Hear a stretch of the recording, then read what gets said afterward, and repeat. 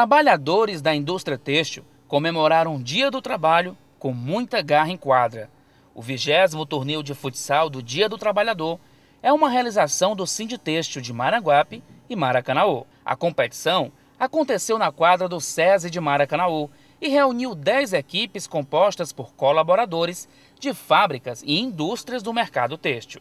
Durante a partida, os jogadores mostraram garra e muita determinação, grandes lances e jogadas protagonizados por atletas da categoria, em uma competição de tirar o fôlego. Na grande final, o time estreante do torneio, os Lek Lek, enfrentaram os Badalados, duas grandes equipes que mandaram oito times mais cedo para casa.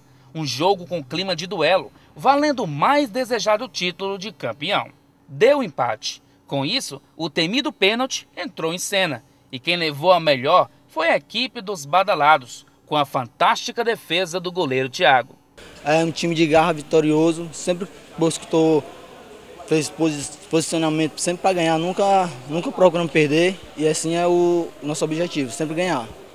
E, independente se for competição ou não, na vida pessoal também, sempre ganhando. O título de campeão foi para os badalados, mas quem pensa que os leque-leque ficaram tristes com a derrota, se enganou. Ah, leque, leque, leque, leque, leque, leque, leque, leque, leque, leque. Só a derrota foi um vacilo nosso no finalzinho do segundo tempo.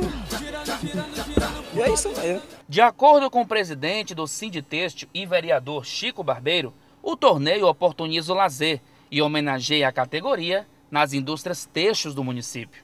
É, realmente agradecer em primeiro lugar né, a presença de vocês, TV Maracanã, e dizer que é histórico esse campeonato, a gente fazia só site agora uns 10, 15 anos só, futebol de salão, e a finalidade é confraternizar, trazer os trabalhadores de todas as indústrias têxteis, Maranguape, Maracanaú. E gosto de dizer para eles que os trabalhadores nunca param de reivindicar.